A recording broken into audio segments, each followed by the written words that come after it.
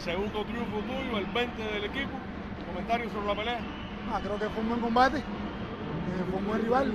Vinimos aquí a cumplir el objetivo, buscar la medalla de oro.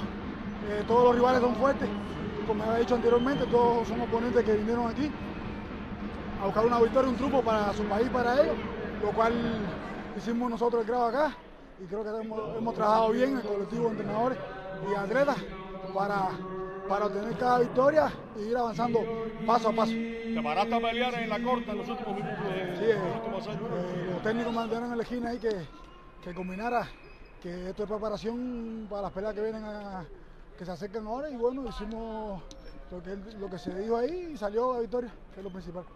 Muchas gracias y felicidades, Julio. Gracias.